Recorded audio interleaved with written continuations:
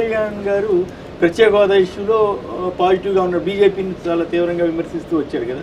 మీరు ప్రత్యేక హోదా కోసం పోరాడుతున్నారు. మీ ఇద్దరు కలిసే అవకాశం ఏమైనా ఉంటుంది?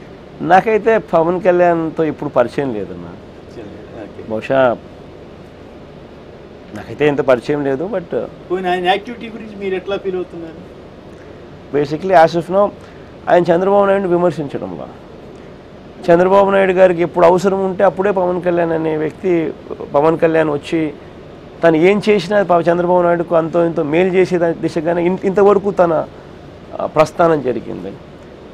So we're hoping Pawan Kalyan అనే వ్యక్తి ఫస్ట్ చంద్రబాబు నాయుడు అనే వ్యక్తి షెల్లో నుంచి బయటికి రావాలి.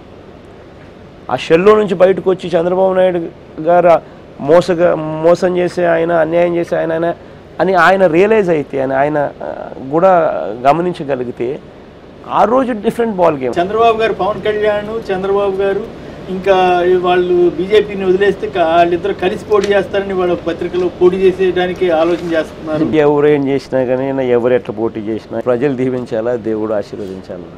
మనమైతే మనం చేయాల్సింది నిజాయితీగా చిత్తశుద్ధిగా మనం చేసుకుంటూ పోతాం. దేవుడు ఉన్నాడు. ఇక కొన్ని వ్యక్తిగత ప్రశ్నలు కూడా అడుగుతాను. మీ పాదయాత్ర నేపథ్యంలో ఎట్లా ఇంట్లో మీ అమ్మ- అమ్మగారు కానీ మన మేడం భారతి గారు కానీ లేక మీ పిల్లలు ఎట్లా రియాక్ట్ అవుతున్నారు? పిల్లల్ని లండన్ పాప లండన్లో చదువుతుంది కదా ఎట్లా హౌ ఆమె వాళ్ళు ఎట్లా రియాక్ట్ అవుతున్నారు? వాళ్ళు ఏమైనా టెన్షన్ గురవుతున్నారా? మీ వస్తాయి. కొన్ని ఏదో చిన్న చిన్న ప్రాబ్లమ్స్ వస్తుంటాయి కదా. పాదయాత్ర అనేది ఏంటంటే నాన్న చేసినాడు నాన్న చేసినాడు పాప చేసినాడు. ప్లస్ రాజకీయాల్లో కూడా ఇప్పుడు నిజంగా ప్రజలకు అతి సమీపంగా దగ్గర నుండి దగ్గర నుంచి చూసే ప్రస్థానం ఇది. వారితో మమేకం కావడం వారి సమస్యలు నిజంగానే మనం కూడా వాళ్ళతో వాళ్ళలో ఒకరు కావడం ఇంతకుముందు ఓదార్పు చేసిన దానికన్నా ఇది మోర్ ఇంటెన్స్ సో ఇటువంటి యాక్టివిటీస్లో ఫ్యామిలీ సపోర్ట్ అనేది వెరీ ఇంపార్టెంట్ దేవుని దయ వల్ల family is supportive tension feel ఏం లేదన్న మీరు లండన్ వెళ్ళొచ్చారు పాప ఆ స్థాయికి వెళ్ళటం ఎంత మీరు ఎట్లా మీరు చాలా డిసిప్లైన్డ్గా పెంచారనే ఒక ఫీలింగ్ ఉంది. ఆ స్థాయికి ఎట్లా పాప చేరుకోగలిగింది? దేవుని దయ దేవుని దయ మీరు ఎక్కువ దేవుడిని నమ్ముతారా? ఖచ్చితంగా దేవ్ ఐ స్ట్రాంగ్లీ బిలీవ్ ఏదైనా కానీ జరగాలి అని అంటే దేవుని దేవుని చిత్తం లేనిది ఏది జరగదని గట్టిగా నమ్ముతాను నేను. పాప కూడా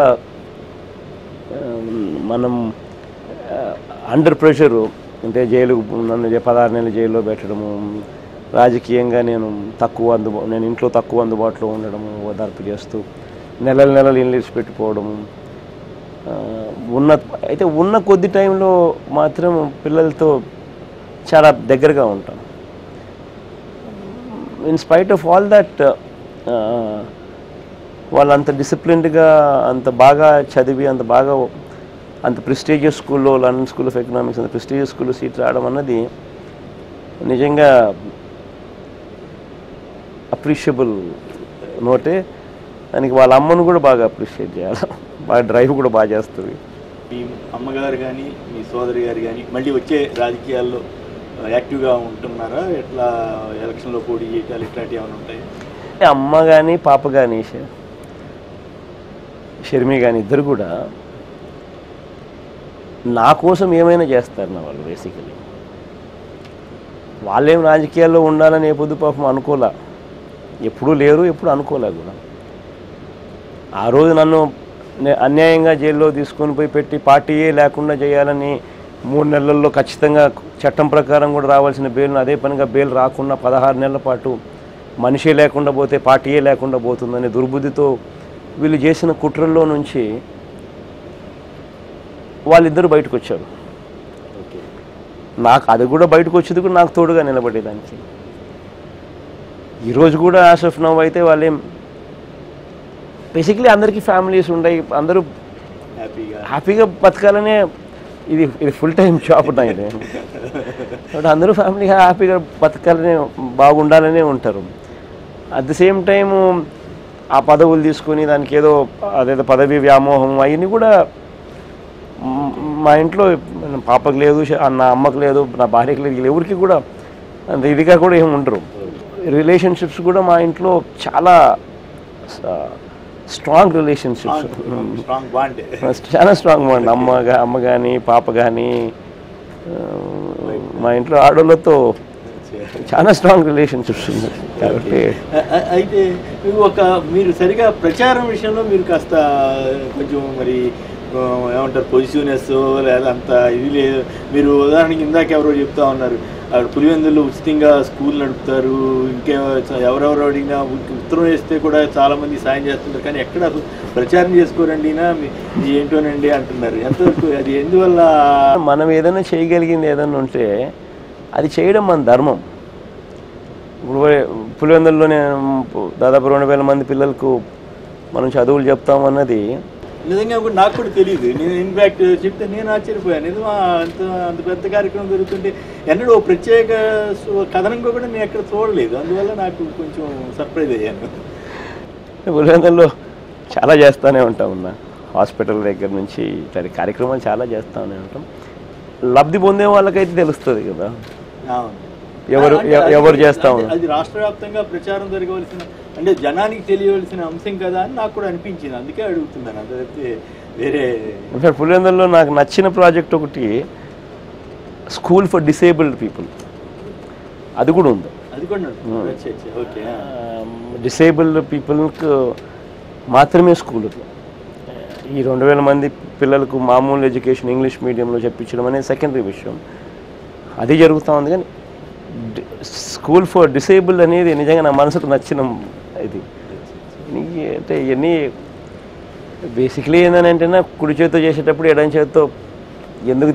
పబ్లిసిటీ ఎందుకు చెప్పుకోవడం అనుకుంటాం బేసిక్లీ దాదాపు తొమ్మిదేళ్ళు అయిపోతా ఉంది. ఎట్లా ఈ పోరాటాన్ని ఎట్లా ఫీల్ అవుతున్నారు? మీకు ఎప్పుడన్నా ఏమిటి పోరాటం? ఎందుకు ఈ పోరాటం అని అలసట ఏమన్నా అనిపిస్తుంది? నాన్న చనిపోయి దాదాపు ఎనిమిది ఎనిమిదేళ్ళు అవుతుంది కాబట్టి దాదాపు ఎయిట్ ఇయర్స్ నుంచి నాయన చనిపోయినప్పటి నుంచి ఇంకా పోరాటమే కదా దాదాపు పదకొండు నుంచి అయితే మరి ఎక్కువ విగరస్గా ఉంది కదా మరి కానీ చాలా మంది భయపడతారు. మీరు ఎట్లా భయం లేకుండా ఎట్లా ఎదురు ఎదురొడుతున్నారు? దాదాపుగా కోటి ముప్పై లక్షల మంది ప్రజలు మనం నమ్ముకొని ఓటేసినారు. మన మీద నమ్మకంతో మనకు తోడుగా ఉండరు. గెలుపుకు ఓటమికి మధ్య వన్ పర్సెంట్ తేడా. ఐదు లక్షల ఓట్లు తేడా. మనం నమ్ముకొని నూట డెబ్బై ఐదు చోట్ల పోటీలు జరిగాయి. అరవై ఏడు మంది ఎమ్మెల్యేలు మనం గెలిచినాం తొమ్మిది మంది ఎంపీలు గెలిచినాం మిగిలిన చోట ఓడిపోయిన వాళ్ళు కూడా మన వాళ్ళే. ఇంతమంది మన మీద నమ్మకం పెట్టుకొని ఇన్ని కోట్ల మంది మన మీద నమ్మకం పెట్టుకొని ఉన్నప్పుడు మనం చేసే ఏ చర్య అయినా కూడా వాళ్ళల్లో ఏమాత్రమైనా కూడా వాళ్ళను వాళ్ళ కోసమైనా మనం ఉండాలా? అది కాక దేవుడు అవకాశం ఇస్తే ఒక హిస్టరీ క్రియేట్ చేయాలని తపన ఉంది నాలో. ముప్పై ఏళ్ళ పాటు ఎంత గొప్ప పరిపాలన ఇవ్వాలంటే నా జీవితం ఉన్నంత కాలం నేను చనిపోయిన తర్వాత కూడా ప్రతి ఇంట్లో నా ఫోటో నాయన ఫోటో పాటు నాయన నాయన ఫోటో నా ఫోటోతో పాటు నా ఫోటో కూడా ఉండాలంట ఆ పత్రం దట్స్ వన్ ఆపర్చునిటీ ఐదు కోట్ల మంది జనాలు దేవుడు ఒకరికి ఇస్తారు that is the drive okay కానీ మొన్న మొన్న కూడా చంద్రబాబు నాయుడు గారు ఒక మాట అన్నారు. మందే గెలుపు దాంట్లో ఏం డోకా లేదు. అయినా కూడా మీరు ఎవరు అలా అప్రమత్తంగా ఉండకుండా ఉండొద్దు అన్నారు. ఇప్పుడు మీరేమంటారు? అసలు నిజంగానే మీరు అధికారంలోకి వస్తారన్న ధీమా మీకు కనపడిందా? ఈ పాదయాత్ర ద్వారా కానీ ఏమనిపించింది? చంద్రబాబు నాయుడు చెప్పేది అన్ని అబద్ధాలు చంద్రబాబు నాయుడు చెప్పే మాటలు అబద్ధాలు అని చెప్పి ఆయనకు కూడా తెలుసు కాబట్టి ఆ ఇరవై మంది ఎమ్మెల్యేలను ఎన్నికలకు తీసుకొని పోవడంలో. కొనుక్కోవాల్సిన అవసరం లేదు. ఎమ్మెల్యేను కొనుక్కొని కొనుక్కొని కొనుక్కొని ఎమ్మెల్యేను డిస్క్వాలిఫై కాకుండా ఎమ్మెల్యేని ఎందుకు ప్రొటెక్ట్ చేయాలి? నిజంగా ఆయనకు అంత నమ్మకం ఉంటే ఇది సెమీఫైనల్ కింద పెట్టండి ఇరవై ఇరవై చోట్ల. ఆ నమ్మకం ఆయనకు లేదనేది ఆయన మాటలు ఆయన మాటలు అబద్ధాలని ఆ నమ్మకం ఆయనకు లేదనేది ఇరవై చోట్ల చేయాలంటే నాలుగు వేల కోట్లు కావాలి. ప్లస్ ఇరవై చోట్ల చేయాలని అంటే తన మెషినరీ కానీ తన ఇది కానీ అంత ఉండదు. ప్లస్ ప్లస్ ప్రజలు కూడా భయపడరు. ఇరవై ఒక చోట అంటే భయపడేయచ్చు. ఇరవై చోట భయపడేయడం కష్టం. అసలు జరిగితే చంద్రబాబు నాయుడు ఇప్పుడు జరిగితే నా నెత్తిన పాలు పోసినట్టు. ఓకే.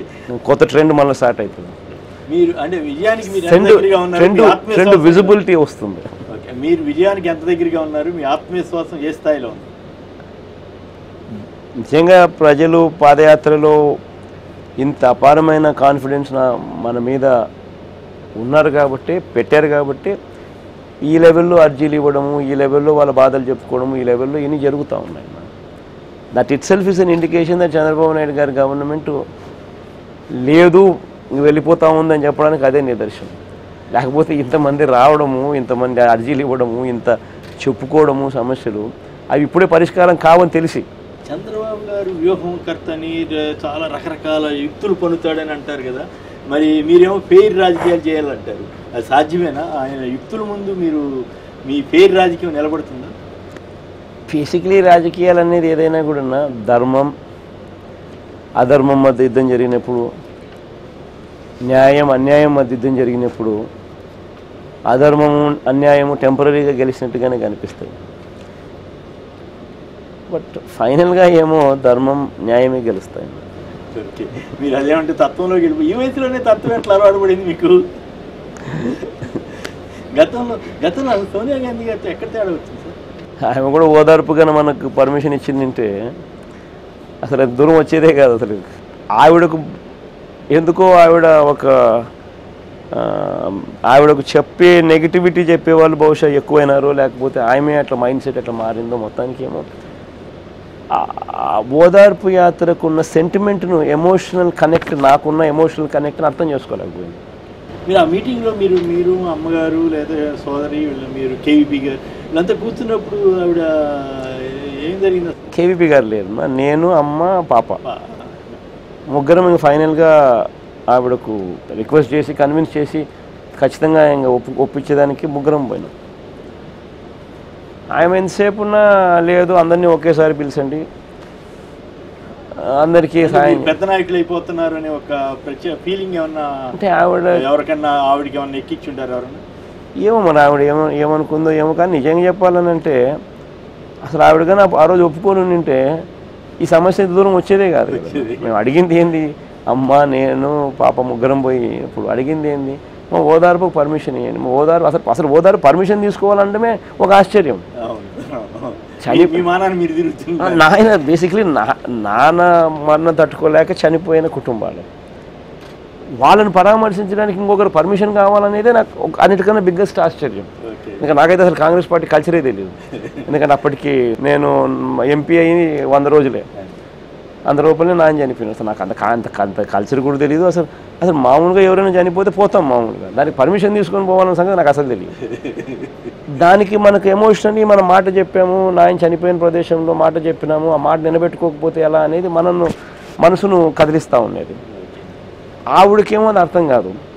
ఆవిడ ఎంతసేపు ఉన్నా దాన్ని వేరే యాంగిల్లో చూసేదేమో నాకు తెలియదు కానీ అందరినీ ఒకే చోటుకి అంటే పిలిచి రాజశేఖర రెడ్డి గారు ఎట్లయితే టాల్ లీడర్గా అయిపోయారో మీరు కూడా అవుతారని కొంతమంది చెప్పారంటారు. ఈవెన్ రోసీ గారు కూడా ఒక దశలో ఎమ్మెల్యేలు వెళ్ళొద్దని ఇట్లాంటివన్నీ చెప్పారు. తర్వాత కిరణ్ కుమార్ రెడ్డి గారు వచ్చిన తర్వాత కూడా ఇవన్నీ జరిగినాయి కదా.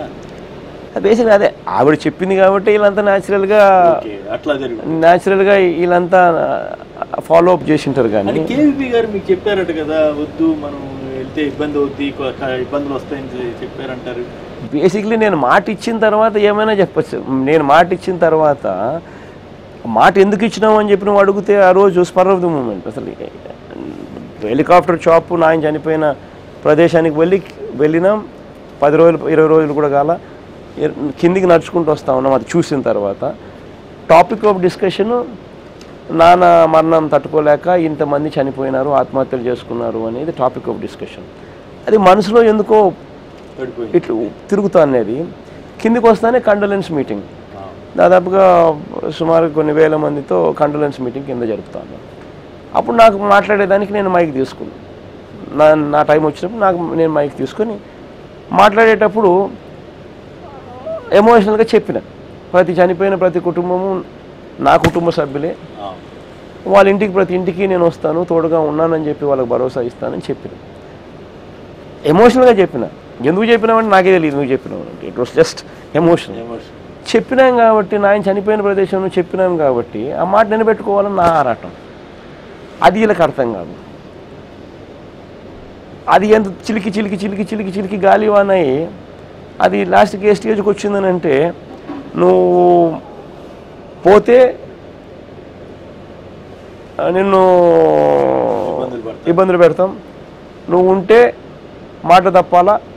ఉండు నీకు అది నీకు కేంద్ర మంత్రి పదవి ఇస్తాం ఇంకోటి ఇస్తాం ముఖ్యమంత్రి తర్వాత చేస్తాం. ఈ రకరకాలుగా ప్రలోభ ఇవన్నీ. But at the end of the day అవన్నీ ఏమొచ్చినాయి కదా దేవుడు ఎరుగు. అవి తీసుకున్న వాల్యూ ఉండదు. ఇక్కడ క్రెడిబిలిటీ పోయిన తర్వాత ఇక్కడ విశ్వసనీయత పోయిన తర్వాత ఆయన చనిపోయిన ప్రదేశంలో నేను మాట చెప్పిన తర్వాత అప్పుడు నేను అమ్మ పాప వాళ్ళ ముగ్గురం వచ్చినాం. ఎందుకు వచ్చిన తర్వాత మేము ముగ్గురం మాట్లాడాం. నేను అమ్మకు ఒకటే చెప్పిన. మా రెండు దారులు ఉన్నాయి.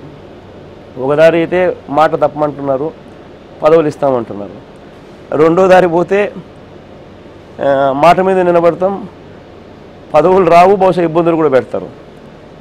బట్ మాట అయితే మాట మీద అయితే నిలబడతాం. నాన్న మాట మీద నిలబడతాడనే పేరే మా నాన్నకు ఉంది అల్టిమేట్గా అందరం ఏదో ఒక రోజు చనిపోతాం అన్న. చనిపోయిన తర్వాత మన గురించి ప్రజలు ఏమనుకుంటారు అనేది వాట్ విల్ లీవ్ బ్యాక్ ఆ మాట నేను అన్నప్పుడు పాప అమ్మ భారతీయ ముగ్గురు కూడా నాకు సపోర్ట్ చేసినారు. లేదు నీ ఆలోచనే కరెక్టు మాట చెప్పిన తర్వాత మనం గట్టిగా నిలబడాల్సిందే. చేయాల్సిందే. తప్పేం కాదు నువ్వు చేసేదండి సో దాని తర్వాత సో జరిగిన వెంటనే నిజాయితీగా ఉన్నాం. బేసిక్లీ రాజ ఆ రోజు రాజకీయాల్లో అందరూ పొలిటికల్ ఒబ్లీవియన్ అన్నారు. చంద్ర సోనియా గాంధీ గారికి రాజీనామా లేఖ రాసేసి బయటకు వచ్చేసినాం పార్టీ నుంచి. ఎందుకు ఇంకా ఇంకా ఆ- ఆ స్టేజ్కి వచ్చిన తర్వాత. ఆ రోజు బయటకు వచ్చేటప్పుడు నేను అమ్మ ఇద్దరమే బయటకు వచ్చినాం. ఆ రోజు నాకు బాగా గుర్తుంది శ్రీకాంత్ మన రాయచోట ఎమ్మెల్యే ఉన్నాడు కదా. అమర్ అని అమర్నాథ్ రెడ్డి అని రాజంపేట ఎమ్మెల్యే కూడా. అప్పుడు ఇద్దరు ఎమ్మెల్యేలు. నా దగ్గరికి వచ్చినా మేము వస్తాం మీతో పాటు అన్నాను నేనన్నా నాకే నా పొలిటికల్ జీవితం నాకేందో నాకే తెలియడంలా? నువ్వు నాతో ఫాలో అవుతున్నావు శ్రీకాంత్? వద్దు శ్రీకాంత్. నా జీవి దేవుడు నన్ను ఆశీర్వదించినప్పుడు కావాలంటే వస్తువులే. లేదు శ్రీకాంత్ వద్దు. నాదంటే నేను ఒక మాట చెప్పిన మాటకు అయితే అయింది లేకపోతేలా నేను తినేదానికైతే ఏం లేని పరిస్థితులు ఏం లేము కదా. రాజకీయాలు చేస్తే న్యాయంగా చేస్తాం ధర్మంగా చేస్తాం అని చెప్పి వచ్చేసినాం. తర్వాత దేవుడు ఆశీర్వదించినాడు ప్రజలు దీవించినాడు. ఆ తర్వాత కథ అంతా మీకు తెలిసింది. అయితే కేవీపీ గారు కానీ లేదా ఇంకా కొంతమంది చాలా మంది కాంగ్రెస్లో ఉన్న మీ అభిమానులనండి వైఎస్ఆర్ కుటుంబ అభిమానులనండి రాజశేఖర రెడ్డి గారు చాలా సన్నిహితం వాళ్ళందరినీ మీరు ఎంతవరకు కలుపుకోగలుగుతున్నారు? వాళ్ళు వస్తారంటారా? వాళ్ళు వస్తే మీరు తీసుకోగలుగుతున్నారా? లేదా వాళ్ళు వచ్చే పరిస్థితి కొంతమందికి ఏమైనా ఇబ్బంది ఉందా? కేవీపీ అంటే చాలా సన్నిహితుడు కదా ఎందువల్ల మళ్ళీ మీ ఇద్దరు కలిసే అవకాశం ఏమైనా ఉంటుందా? చూద్దాం బేసిక్లీ. ఏంటంటే వీళ్ళంతా ఆ రోజుల్లో మనతో పాటు బయటికి రాలేకపోయినారు. రమ్మని కూడా మనం ఎప్పుడు అడగలేదు. కారణం ఆ రోజుల్లో సోనియా గాంధీ నిర్ణయానికి మాట తప్పినా పర్వాలేదు. సోనియా గాంధీతో నిర్ణయం ఫాలో కమ్మని చెప్పి చెప్పిన అడ్వైస్ చెప్పిన వాళ్ళలో వీళ్ళంతా కూడా ఉన్నారు. అంటే మన మంచి వాళ్ళు అనుకునేది ఏంటంటే వాళ్ళే. వాళ్ళ వాళ్ళ వాళ్ళు అనుకునేది ఏంటంటే అది మంచని మాటలు గిట్ల అనేది ఏముంది కానీ సోనియా గాంధీ చెప్తా అన్నప్పుడు నువ్వు ఎందుకు విభేదించాలి ఆమెతో అనేది. సో శ్రేయోభిలాషులందరూ ఏమనుకుంటారని అంటే న్యాచురల్గా అందరికీ అందరూ కూడా మనతో మన లైన్ ఆఫ్ థింకింగ్లోకి రారు. ఓకే. ఆ కేటగిరీలో తను అక్కడే మీరు ఎట్లా వేరు చేయగలిగారు ఈ కష్టాలు ఈ ఇబ్బందులు వీటన్నింటిని అధిగమించడం బేసిక్లీ నా నేను బాగా గట్టిగా నమ్మేది ఏంటంటే డెస్టినీ నా. ఇది ఇక్కడ రాసి ఉంటే దాన్ని ఎవడు ఆపలేడు. ఇక్కడ రాయకపోతే దాన్ని ఎవడు ఇయ్యలేడు. ఈ గతంలో జరిగిన ఒక సంఘటనలో తుని ఘటన జరగగానే చంద్రబాబు గారు మీ మీద ఆరోపణ చేశారు రాయలసీమ రౌడీలు అన్నారు కడప రౌడీలు అన్నారు. అట్లాంటివి జరిగినప్పుడు మీకు ఏమనిపిస్తుంటుంది? చంద్రబాబు నాయుడు గారు నైజం చూసినప్పుడు ఒక్కొక్కసారి నిజంగా అసలు ఈయన ఈయన ముఖ్యమంత్రి సీట్లో కూర్చునే దానికి కాన్షియస్ అసలు ఎట్లా పర్మిట్ చేస్తుందని చెప్పి నాకు అనిపిస్తుంది. ఎందుకనంటే ఆ సీట్లో కూర్చున్నప్పుడు కొంచెం కాన్షియస్ అనేది లేకపోతే మనుషులు రాక్షసులు అవుతారు. నీ రాజకీయ అవసరం కోసం అవతలోని మీద బండలేయడం అవతలోని మీద అబాండాలు వేయడం. లాస్ట్కి ఏమైంది ఇప్పుడు? ఎవరు దాంట్లో వీళ్ళు ఎంక్వైరీలు చేసిన చేసినారు కదా అవన్నీ ఏం తేలినాయి? తెలుగుదేశం పార్టీ కార్యకర్తలు కూడా కార్యకర్తలు ఉన్నట్టుగా తేలుతుంది. అందుకని కోల్డ్ స్టోరేజ్లో పెట్టారు. ఎక్కడ ఉన్నారంటే రాయలసీమ వాళ్ళు ఎందుకు ఉంటారు రాయలసీమ వాళ్ళు ఎందుకు ఉంటారు ఎక్కడ ఉంటారు ఎంత అన్యాయం అంటే ఈయన తప్పు చేస్తాడు అవతల మీద బండలేస్తాడు. ఈయన తప్పును కవరప్ చేసుకునే దానికి ఇంకోటి మీద బండ ఇప్పుడు బీజేపీని ఇప్పుడు ఇప్పుడు పోలవరం చూసుకోండి ఈ కాపుల రిజర్వేషన్స్ చూసుకోండి. అది కూడా అంతే కదా ఈయన తప్పు. బీజేపీ మీద నెట్టేయడం ఇంకోటి మీద నెట్టడం.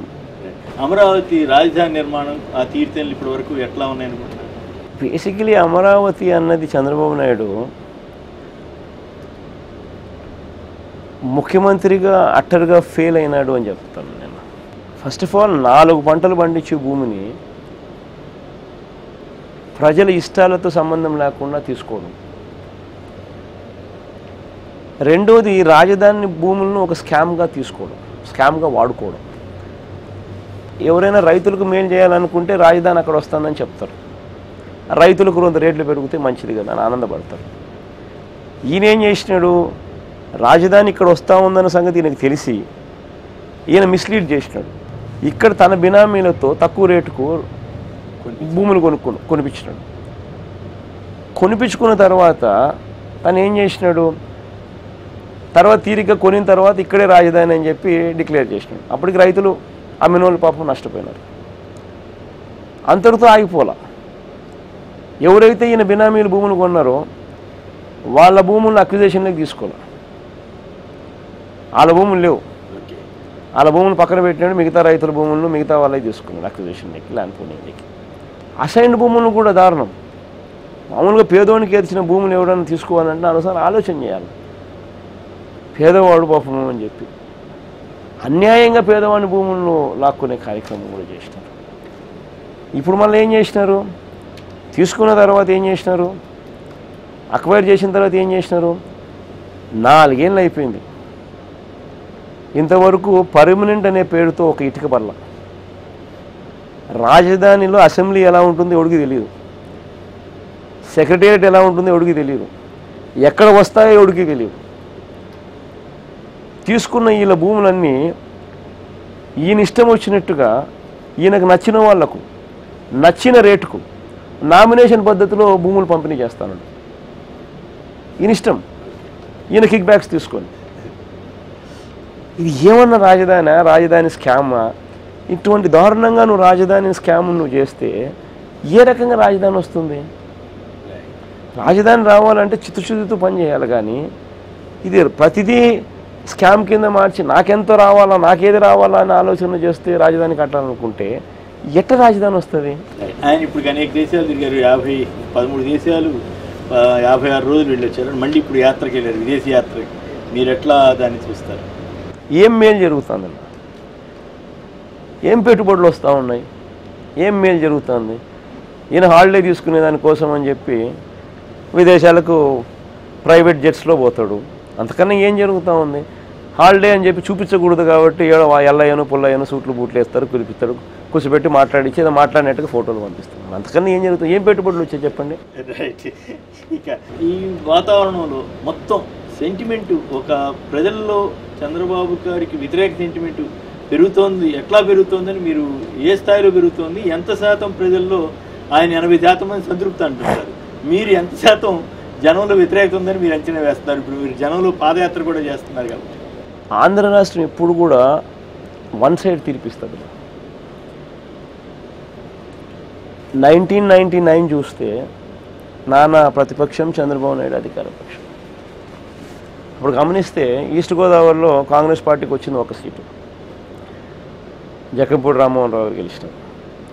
వెస్ట్ గోదావరిలో కాంగ్రెస్ పార్టీకి వచ్చింది ఒక సీటు. జిఎస్ రావు గారు గెలిచినారు. అదే రాజశేఖర రెడ్డి గారు అదే నాన్నగారు అదే చంద్రబాబు నాయుడు రెండు వేల నాలుగు. వచ్చేసరికి అదే ఈస్ట్ గోదావరిలో ఇరవై ఒకటికి పంతొమ్మిది కాంగ్రెస్ చంద్రబాబు నాయుడుకి రెండు. వెస్ట్ గోదావరిలో పదహారులో పన్నెండు కాంగ్రెస్ చంద్రబాబు నాయుడు గారికి నాలుగు. రెండు వందల తొంభై నాలుగు నియోజకవర్గాల్లో చంద్రబాబు నాయుడు గారికి పదహైదు శాతం కూడా రాలా. అంటే దాని అర్థం ఏంటంటే ఆంధ్ర రాష్ట్ర ప్రజలు ఎప్పుడు కూడా వన్ సైడ్ గుద్దుతారు. సేమ్ థింగ్ నెక్స్ట్ ఎలక్షన్ జరుగుతుంది. ఈయన అసలు కాన్స్టిట్యూషన్ ఈయనకు చట్టం లేదు న్యాయం లేదు. అవినీతి చేస్తూ పట్టుబడి పట్టుబడినా కూడా ఏమాత్రం కూడా రిపెంట్ లేదు రిగ్రెట్ లేదు ఏమీ లేని వ్యక్తి. అన్ని రకాలుగా అబద్ధాలు మోసాలు చేసిన చేసినాడు అనేది ప్రజలకు బాగా అర్థమైన పేరు పరిస్థితి. గ్రాస్ రూట్లో ప్రజలకు ఏమీ చేయాల. సో వన్ సైడెడ్గా ఎలక్షన్ అనేది ఉంటుంది. చంద్రబాబు నాయుడు గారు అనుకొని ఊహించని విధంగా దెబ్బపడుతుంది ఇప్పుడు మీరు అసెంబ్లీని బాయ్కాట్ చేశారు? అది ఈ సెషన్స్ వరకే పరిమితమా? తర్వాత ఆలోచిస్తారా? ఎట్లా? లేదన్న అసెంబ్లీ అనేది ఎందుకు బాయ్కాట్ చేసినాము అసలు బాయ్కాట్ చేయడం ఏంటంటే ఈ చట్టసభల్లో చట్టాలు చేయడానికి అసెంబ్లీకి పోతాం. అటువంటి చట్టసభల్లో ఎమ్మెల్యేలు వేరే పార్టీ వాళ్ళని కొనుక్కోవడం ఏంది? వాళ్ళని మంత్రులుగా చేయడం ఏంది? వాళ్ళని డిస్క్వాలిఫై చేయకుండా మీరు ప్రొటెక్ట్ చేయడం ఏంది?